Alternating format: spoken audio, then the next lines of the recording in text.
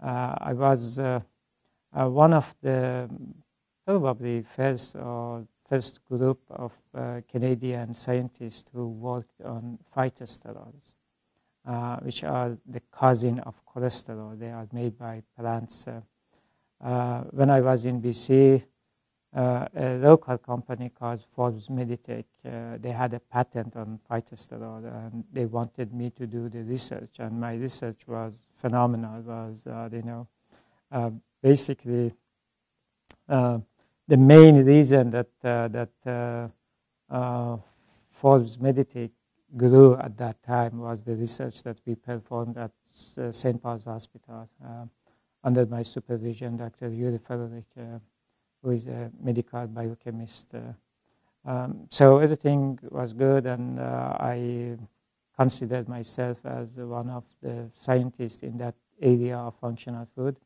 uh, which started to begin in in Canada at, at that time. So Dr. Pierce also, I believe, was impressed with the type of work that I have done in, in that area.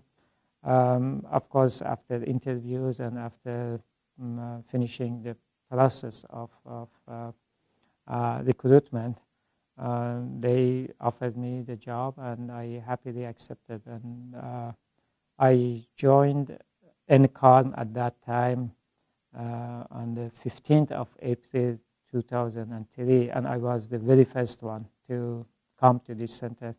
And then after me, two other uh, scientists uh, were recruited that they joined me um, probably in June or July that, that summer.